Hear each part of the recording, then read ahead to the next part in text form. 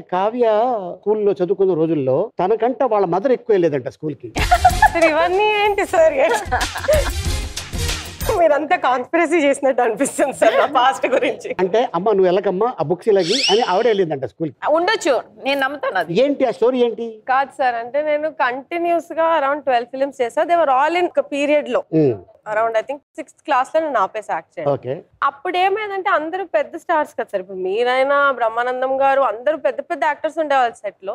So వాళ్ళందరూ dates ప్రకారం cinema dates వేసుకునేవాళ్ళు. సినిమా డేట్స్ వేసుకున్న వెంటనే నాకు ఎగ్జామ్స్ నాకు స్కూల్లో ఏదో ఇంపార్టెంట్ ఏవో ఉండేవి. సో మాకేంటంటే అరే బ్రహ్మానందం గారు ఆలి గారు వీళ్ళ డేట్స్ చూస్తారు కానీ నా డేట్స్ చూడరు కదా. సో నేను అక్కడ ఎగ్జామ్ మానేసి షూటింగ్కి వెళ్ళిపోయేదాన్ని. అండ్ మంత్కి అట్లీస్ట్ ఒక twenty days used to be shooting సినిమాలకి.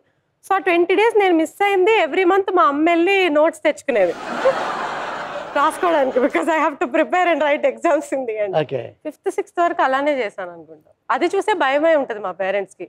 ఇట్లానే చేసుకుంటూ పోతే ఈ పిల్ల స్కూల్కి వెళ్ళదు మేమే వెళ్ళి బోర్డ్ ఎగ్జామ్స్ రాయాల్సి వస్తుంది.